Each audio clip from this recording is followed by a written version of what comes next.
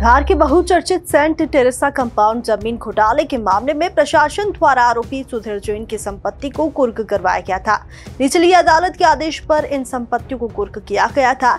लेकिन इस मामले में एक नया मोड़ बुधवार को सामने आ गया है। इसमें बुधवार को संपत्ति पर लगा ताला खोल दिया गया है। संपत्ति को खोलने के मामले में संबंधित पक्षकारों के वकील ने जानकारी दी है कि निचली अदालत द्वारा जो आदेश दिया गया था, उसे सेशन कोर्ट ने खारिज कर दिया है। इसी आदेश पर संपत्ति को दोबारा खोला गया है। वही इस मामले में प्रशासन का कहना है कि अदालत का जो भी आदेश है, उसमें कानूनी राय ली जा रही है। अभी ये बात हमारे संज्ञान में आया है और संबंधित व्यक्ति को हमने अभी बुलाया है और उसके उनने जो सिविल कोर्ट का एक आदेश प्रस्तुत किया है, जिसमें जो लोअर कोर्ट के आदेश को अपास्त किए किया गया है, उस संबंध में उनने एक आदेश प्रस्तुत किया है।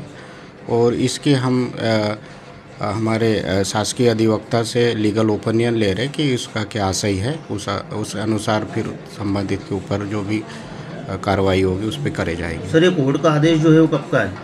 2022 का है और उनके द्वारा भी समक्ष में प्रस्तुत किया है। उसका अवलोकन करने के लिए हमने भेज दिया है। जैसे ओपिनियन आता है फिर हम आगे की कार्रवाई करेंगे। तो सर 2022 का आदेश जो है अब प्रस्तुत किया है इन्होंने तो क्या कारण रहा सर इसका अब इसका कारण तो हम बता नहीं पाएँगे बट उनने अभी प्रस्तुत किया है तो उसका हम अवलोकन करवा रहे हैं संबंधित शासकीय अधिवक्ता से।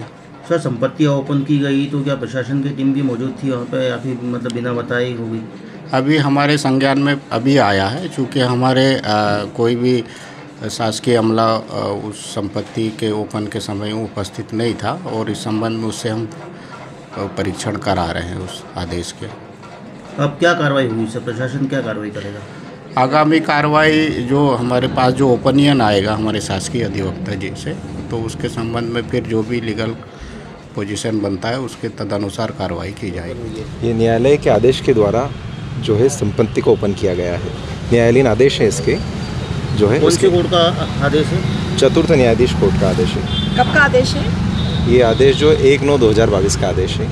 एक साल बाद मतलब प्रशासन ने आके सील खोला है या आप ही लोगों ने खोल लिया, क्या है? नहीं, ये इसको एक्चुअली जो है सील किया ही नहीं गया था।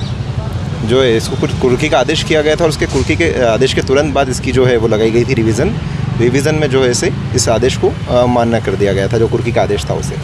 देखिए, लोअर कोर्ट का आदेश से उसको कुर्क किया था और एक अभी आदेश संज्ञान में आया है, चतुर्थ अतिरिक्त सत्र न्यायाधीश धार जी का आदेश है। उसमें अपास्त तो किया है, लेकिन एकदम क्लैरिटी के लिए हम इसमें लीगल ओपिनियन ले रहे हैं।